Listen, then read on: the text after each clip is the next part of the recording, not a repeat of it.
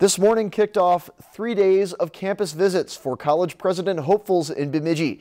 Three candidates are up for the job of leading Bemidji State University and Northwest Technical College.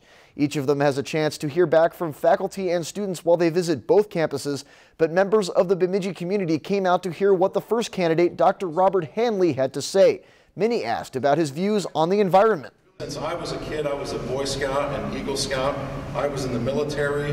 I majored in, I have two degrees in environmental science, one degree in ecology and evolutionary biology. I just recently completed a, a, a degree from the University of Cambridge in uh, sustainability leadership. I am all about working uh, in the outdoors.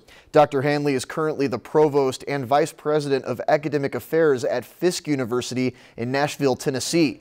One person asked about his strategy to deal with investing into the university through community donations, something he said is a tricky process, how he approached it in you the past. give them an engaging vision that they can be a part of. It's not just saying, hey, you know, donate to my cause, you know, that kind of thing, and with no passion. This was about passion. This was about energy. This was about making partnerships, making friends, uh, and having them be a part of it. And we were able to do that. So that was that was I think that's that was the one thing I think I'm most proud of in my career. Dr. Hanley also mentioned that he is no stranger to the MnSCU system and would keep communication with the organization open if given the job. Both Dr. Faith Hensrud and Senior Al S. Thompson will have the same opportunity to speak with the public in the next two days. Lakeland News will bring you the latest as it happens.